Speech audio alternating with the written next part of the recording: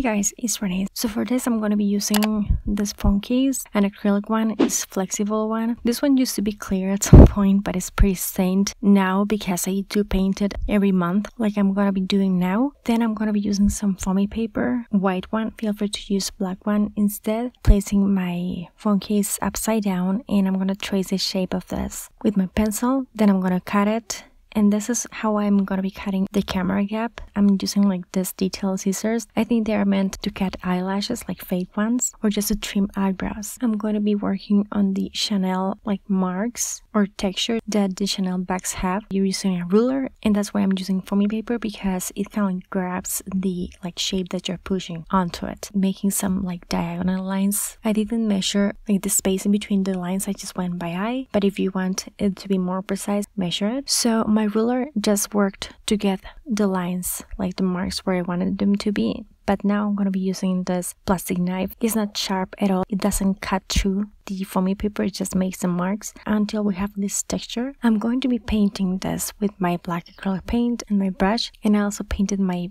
case in black like this. I just forgot to record it. I'm going to be working on the Chanel logo itself. For this, I'm going to be using the cookie cutter. These are the sizes. And I'm also using a piping tip. This is 2A. It's from a local brand. And I'm going to be using some foamy paper to just mark the shape of that. First off the cookie cutter with my pencil and then going in the middle with my piping tip and then just marking that circle as in the middle as I can make it to be and then just cutting everything. And then I'm going to be placing one on top of the other like a Chanel logo. Once I'm happy with how it looks, I'm going to be just marking like the circle that is below the one that I'm working on, cutting that excess. And I'm doing this just because I don't want to glue one on top of the other. I just want this to lay flat on like the same level. And I'm gonna be gluing this circle that I cut, it, adding the glue on the edges like this. Also marking and cutting the seams towards the end. I'm gonna be showing you how it looks like if you don't cut it painting this in black. Now I'm going to be using this, I think these are rivets. I don't even remember where I got this from. I have like gold and silver ones, but I'm going to link below like few items that resemble this since I don't have like the exact ones. Feel free to use rhinestones as well or just like nail art stickers if I didn't have them, what I would use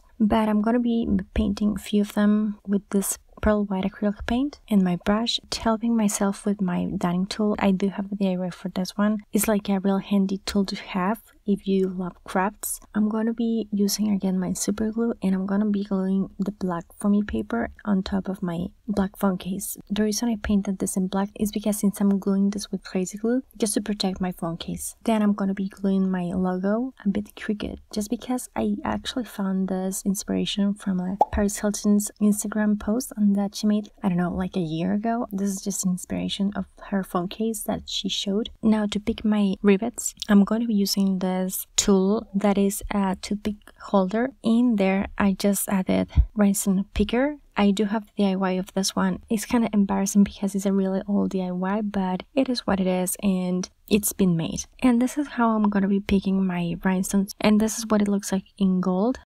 silver, pearl, pearl and gold, silver and gold, pearl, silver, and gold. I just made all those examples because at the beginning I just couldn't make out my mind of what I wanted to do and just to show you guys what other options you have. But these are the ones that I ended up choosing. Then I'm going to be gluing this. I have another toothpick holder in the shape of like a pencil with a rhinestone picker, my dotting tool, and then on my right I have this tool that I was using before, my glue. So I'm just going to be picking my rhinestone, adding my glue with my other tool, and then just putting my rivet back in. And one way to know if the rivet is like actually glued is just by if your rhinestone picker doesn't pick the rivet back up, it's pretty much glued. Now I'm going to be adding some gloss. This is spray gloss, wearing my gloves, working outside, and I just added two coats of this. And this is what it looks like. I really like it. However, if the logo is just too much for you, too big, you want it center and smaller, I also did another version of this, pretty much the same, but I'm using this smaller cookie cutter. These are the sizes of this and my Wilton 7 and this is what it looks like. Gold, silver, gold and silver, pearl and silver, pearl and gold, pearl silver, gold, and pearl. Now, if you couldn't find rivets or rhinestones that you liked, you can actually paint them. I'm using a round dotting tool, I'm using this one. You can use the back of a brush as well, and then just paint those dots like that. This is going to be what it's going to sort of look like. Isn't going to be like quite the same because it's painted after all, so it won't have like the same dimension, but I think it looks cute anyways, and I think it gets the job done. But yeah, guys, I love how this turned out. Hopefully you can find rivets or rhinestones that you like and you can make it because it looks really cute. I couldn't choose one color of rivets, so I chose them all and I really like them. I love how this turned out. Hopefully you liked it too. If you did, don't forget to give this video a thumbs up. Check out more phone cases that I have. Thank you so much for watching. I'll talk to you later and take care. Bye.